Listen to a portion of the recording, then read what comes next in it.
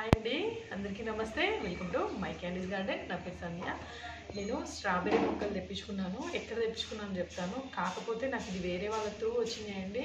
So మీకైతే నేను address ఇవ్వగలను లేదో నాకు తెలీదు. కానీ మొక్కల గురించి చెప్తాను. ఇది ఎట్లా పెట్టుకోవాలో కూడా చెప్తాను. ఇవన్నీ చూడబోయే ముందు ఎవరైనా ఫస్ట్ టైం మన ఛానల్ చూస్తుంటే ప్లీజ్ నా ఛానల్ సబ్స్క్రైబ్ చేసుకొని వీడియో కనుక నచ్చితే ఒక లైక్ ఇవ్వండి. స్ట్రాబెర్రీ ప్లాంట్ ఎలా ఉంటుందో చూపిస్తాను. మనకి ఎలా వచ్చాయో చూపిస్తున్నాను. మంచి వెల్ కండిషన్లో వచ్చాయండి. అయితే హైదరాబాద్లో ఉంటాం కదా సిటీజీ ఒక వాట్సాప్ గ్రూప్ ఉంటుంది. సో దాంట్లో వాళ్ళు చాలా కష్టపడి తెప్పించారు. అంటే ఇదంతా వీడియో పెట్టొచ్చో లేదో కూడా నాకు తెలియదు ఎందుకంటే అడిగితే ఇవ్వలేము. సో నా వరకు తెప్పించుకున్నాను. ఒక థర్టీ ప్లాంట్స్ తెప్పించుకున్నాను. ఎంత బాగుంది చూడండి. ఎంత హెల్దీగా ఉంది ప్లాంట్. ఒక టిష్యూ పేపర్ దాంట్లో కోకోపీట్ పెట్టేసి వీటిని ఇట్లా డెవలప్ చేశారనమాట చాలా హెల్దీ ప్లాంట్స్. వీటిని అయితే ఇంకా కొంతమందికి అయితే ఇంకా రన్నర్స్ కూడా వచ్చాయంట దీంట్లో. మనకు కూడా అట్లాగే ఉన్నాయి. చాలా పెద్దగా ప్లాంట్స్ ఇంకా అన్ని రకాలుగా అనమాట రన్నర్స్ తెలుసు కదా మీకు దీంట్లోంచి.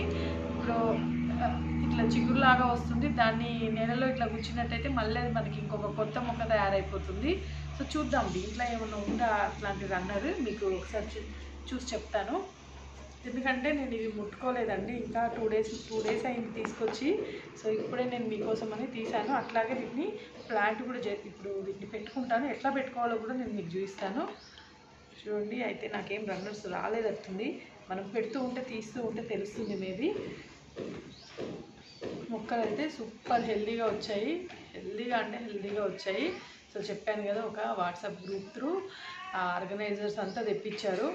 సో మంచి మొక్కలు వాళ్ళకి ఈ మన ఛానల్ ద్వారా థ్యాంక్స్ చెప్తున్నాను. ఇది టూ త్రీ డేస్ ముందు నేను ప్రిపేర్ చేసుకొని వాటర్ పోసుకొని పెట్టుకున్నా అండి. అయితే దీంట్లో ఏమేమి కలిపానంటే ట్రైకోడర్మా వేడి సుడోమోనాస్ అయితే కలిపాను. అయితే యాక్చువల్గా ఎక్కువగా నేను కోకోపీట్ వాడను కదా. ఈ స్ట్రాబెర్రీస్కి మాత్రము ఎక్కువ ఎప్పుడు చల్లదనం ఉండాలన్నమాట. ఇది మన సైడ్ పంట కాదు కదా యాక్చువల్గా సో వీటికి చల్లదనం అనేది ఇష్టము. అందుకోసం అనేది దీంట్లో నేను కోకోపీట్ అయితే కలిపాను. మీకు ఈ బ్లాక్లో కనిపిస్తుంది కదా కోకోపీట్ అండ్ ఇంకా వర్మీ కంపోస్ట్ అండి. Vermicompost cocopeat trichoderma viride pseudomonas కొద్దిగా వేపపిండి కలుపుకున్నాను. సో దానివల్ల ఏమవుతుందంటే మొక్క అనేది మనకి మురిగిపోకుండా ఉంటుంది. వాటర్ త్రీ డేస్ నుంచి పోస్తున్నాను కాబట్టి ఇది సెట్ అయిపోయింది బాగా. అందుకే చూడండి ఎంత పోరస్గా వస్తుంది. ఈ ప్లాస్టిక్ చూసారా? ఇంత మెత్తడి దాంతో తీస్తే కూడా ఇది వస్తుంది అంటే మీరు ఇమాజిన్ చేసుకోండి ఎంత పోరస్గా ఉంది మట్టి అనేది. సో చెయ్యి పెట్టలే చెయ్యి ఇట్లా చేతులు డైరెక్ట్ పెట్టలేం కదా. సో అందుకని ఇంకా అయితే యాక్చువల్గా ఇది వచ్చి మనకి పాత మట్టి అండి. కొత్తది కాదు. ఆల్రెడీ కుండీలో వేరే ఆకుకూరలు అవి ఉండే కదా. వీటిని మొత్తం అంతా కింద పోసేసి ఎండలో ఒక రోజు పెట్టేసి దాంట్లో మిగిలిన ఇదంతా కలుపుకొని వేసుకున్నాను. సో దానివల్ల ఏంటంటే మనకి వేరుకుళ్ళు తెగులు ఇలాంటివి రాకుండా ఉంటాయి. మొక్క పాసిపోకుండా ఉంటుంది. చూసారు కదా? దీంట్లో నేను ఎన్ని ప్లాంట్స్ పెట్టుకోవాలో చూస్తాను. కొంచెం కొంచెం దూరంగా పెడతాను. అయితే మనకి రన్నర్స్ వస్తాయని చెప్పాను కదా? రన్నర్స్ వచ్చినప్పుడు మటుకు పక్కన ఇంకా వేరే ఖాళీ కుండి పెట్టేసి దాంట్లోకి ఎక్కిస్తాను రన్నర్స్ని. ఇంతకు ముందు కూడా అట్లాగే చేశాను. ఇందులోనే పెట్టకుండా పక్క దాంట్లోకి పెట్టేస్తాను. ఇప్పుడు మనకి ఎన్ని plants సరిపోయాయి? One two three four five six seven ఏడు మొక్కలు పడుతున్నాయి. సో ఏడు మొక్కల్ని దీంట్లో ప్లాంట్ చేసుకుంటాను.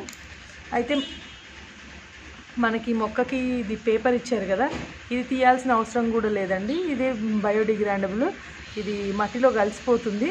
సో వేర్లన్నీ ఇందులోంచి వచ్చాయి కాబట్టి దీన్ని కొంచెం అంత తీసేసి ఇలా పెడుతున్నాను. ఇది కంప్లీట్ కొక్కపీట్లో వచ్చింది.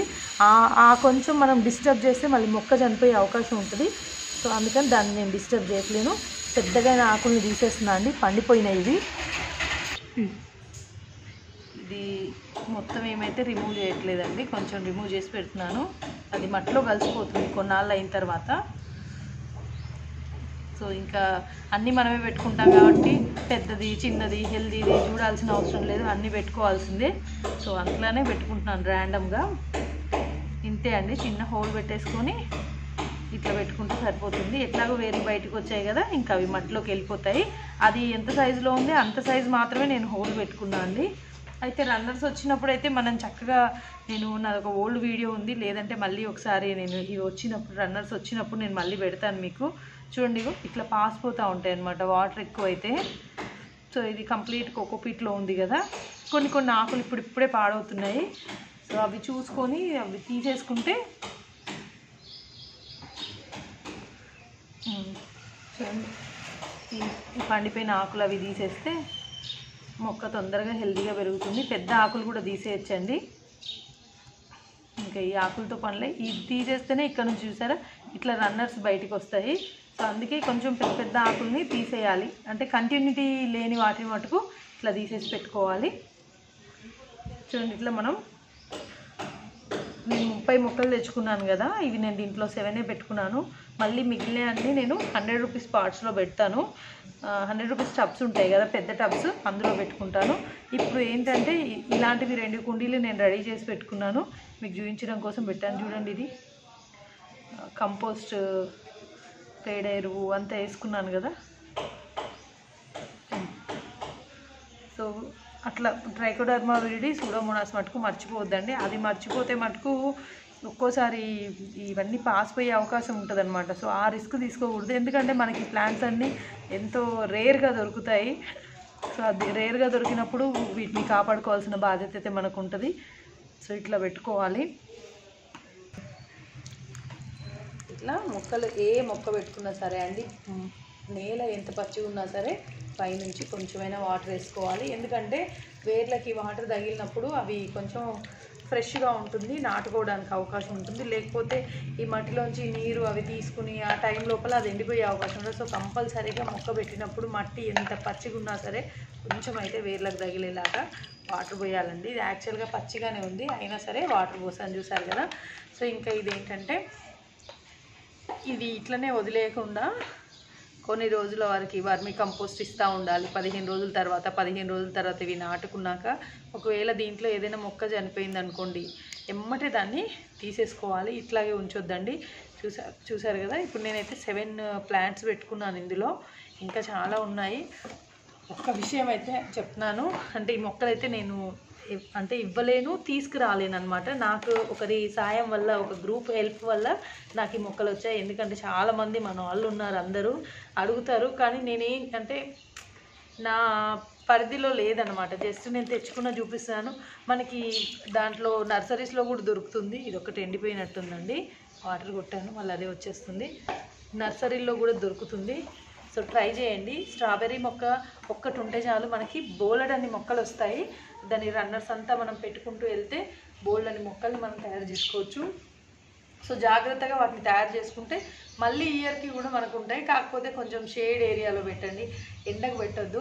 ఇప్పుడు స్ట్రాబెర్రీస్ కాసినప్పుడు ఏం చేయాలి అంటే ఇప్పుడు మట్టిలో పెట్టాం కదా మొక్కల్ని. ఈ మట్టి పైన గడ్డి కానీ కోకోపీట్ కానీ కోకోపీట్ కాదండి గడ్డి.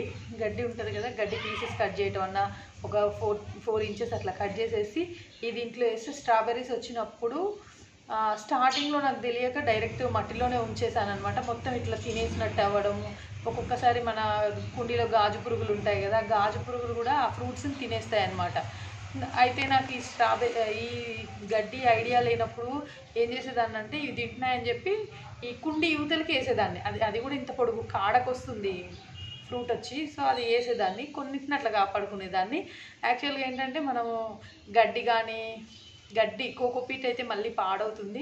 గడ్డి వేసుకొని కాస్త పెట్టేసుకుంటే కనీసం పేపర్ అట్ట ముక్కలు ఉంటాయి కదా మనకు ఒకవేళ సిటీస్లో మనకి గడ్డి దొరకదు అన్నప్పుడు అట్ట ముక్కలు ఉంటాయి కదా అట్ట ముక్కలు చిన్న చిన్న ముక్కలు చేసుకొని వాటి పండు పైన పెట్టి పండు దానిపైన పెట్టినట్లయితే పండ్లు పాడవకుండా ఉంటాయి. సో హార్వెస్టింగ్ కూడా ఇంపార్టెంటే కదండి. ఇంత కష్టపడి మొక్కలు తెచ్చుకొని ఇంత కష్టపడి పెట్టుకొని నెలలు నెలలు వీటికి పాలన చేసి లాస్ట్కి ఫ్రూట్ వచ్చే వరకు మనం పోగొట్టుకుంటే చాలా బాధేస్తుంది. సో అందుకని చెప్తున్నాను ఫ్రూట్ వచ్చినప్పుడు కూడా జాగ్రత్తలు తీసుకోవాలి. మిక్స్ ఆయిల్ మిక్సింగ్ చెప్పాను ఫిఫ్టీన్ డేస్కి ఒకసారి ఎరువు ఇవ్వాలని చెప్పాను. ఇంకా ఫ్రూట్ ఎట్లా కాపాడుకోవాలో చెప్పాను. ఇంకా దీనికి దీనికి మొగ్గలు వస్తున్నాయి ఫ్లవర్ వస్తుంది అన్నప్పుడు ఏదైనా పొటాషియం ఫర్టిలైజర్ ఏది అంటే మనం బయట నుంచి ఏది అంటే కెమికల్స్ చెప్పట్లేదండి. Potassium riched fertiliser. ఏం లేకపోతే మన ఇంట్లో అరటి తొక్కలు ఉంటాయి కదా బనానా పీల్ ఫర్టిలైజర్. అరటి తొక్కలు దొరికినప్పుడు ఎండేసుకోండి పౌడర్ చేసుకొని పెట్టుకోండి. లేదంటారా ఇప్పుడు ఇమీడియట్గా కావాలి ఇప్పుడు ఎండదు పౌడర్ చేయటం టైం పడుతుంది అంటారా? అరటిపండు తొక్కల్ని చిన్న చిన్న ముక్కలు కట్ చేసి కొంచెం బెల్లం ముక్క నీళ్ళల్లో వేసేసి వాటిని మర్నాటికో ఆ మర్నాటికో పీసుకేసి అది వడగట్టేసి మొక్కలకు పోయండి. సో అప్పుడు పొటాషియం అనేది మొక్కలకు అందుతుంది. చాలా బాగా పూత వస్తుంది. కాయ సైజు కూడా పెరుగుతుంది. మనం ఇంత హెల్దీగా ఈ మొక్కలను పెట్టుకున్నట్టయితే మటుకు బోల్డ్ అని అంటే బోల్డ్ అని కాస్తాయండి. రన్నర్స్ వస్తాయి కదా మనకు. స్పెషల్లీ రన్నర్స్ వచ్చినప్పుడు మనకి మన తోట పెద్దగా అవుతుంది. యాక్చువల్గా మన దగ్గర పది మొక్కలు ఉన్నా సరే పది మొక్కలు కాదు రెండు మొక్కలు ఉన్నా సరే నాది ఒక ఓల్డ్ వీడియో ఉంది. నేను నేను మళ్ళీ మీకు ఎతకండి దొరుకుతుంది. లేకపోతే నాకు దొరికితే మటుకు డిస్క్రి డిస్క్రిప్షన్లో పెడతాను ఎందుకంటే అది లాస్ట్ ఇయర్ వీడియో. రన్నర్స్ ఎన్ని రన్నర్స్ చేసుకున్నానో కాకపోతే సమ్మర్లో నేను ఒక రోజు ఊరికి పోవటం వల్ల చాలా సెన్సిటివ్ అని చెప్పాను కదా. సో రెండు రోజులు వాటికి వాటర్ మిక్స్ అయిపోయేసరికి చాలా మటుకు చనిపోయాయి. సో దానికి ఇప్పుడు పచ్చిదనం ఉండేలాగా చూసుకొని మరీ ఎండలో కాకుండా పెడితే బోల్డ్ అని కాపు వస్తుంది. దానికి పెద్దగా పెస్ట్ ఏం రాదండి. గా అది చనిపోయే ఆ ఒక రోగమే అంటే మొక్క ఇట్లా పాచిపోయి చనిపోయే రోగమే తప్ప దానికి మిల్లి బగ్గు ఇలాంటివి అయితే ఎక్కువ రావండి.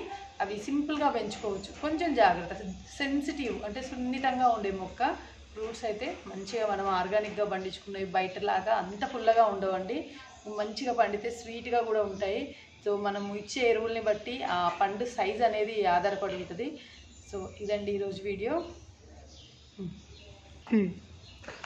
So thank you so much for watching అండి. మొక్కలు ఎట్లా పెట్టాలో చూసారు కదా? బాయ్